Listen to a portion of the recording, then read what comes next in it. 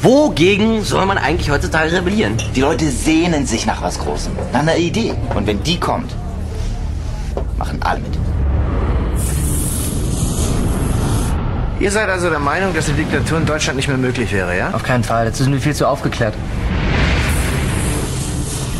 Spürt ihr das? Das ist die Kraft der Gemeinschaft. Was ist denn noch wichtig in einer Diktatur? Disziplin, Herr Wenger.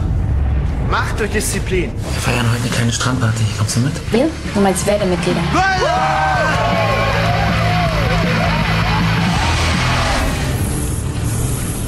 Das ist unser Zeichen. Wie eine Welle werden wir die ganze Stadt überrollen. Was hast du eigentlich gegen die Welle? Mensch, Marco, mach doch mal die Augen auf. Die Welle entwickelt sich zu einer echt komischen Sache. Was machen Sie da? Herr Kodage, glauben Sie mir, Sie sollten mal sehen, wie die Schüler aus sich rauskommen.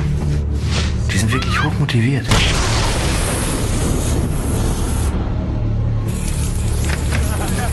kommt ihr dazu, so ein Zeichen zu versprühen? Keine Ahnung, wovon du redest, du Stricher.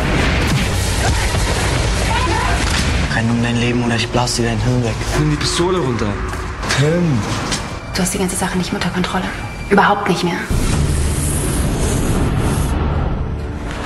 Frau Wenger, Sie können ja jetzt nicht weinen. Sag mal, spinnst du? Frau Wenger, es geht nicht.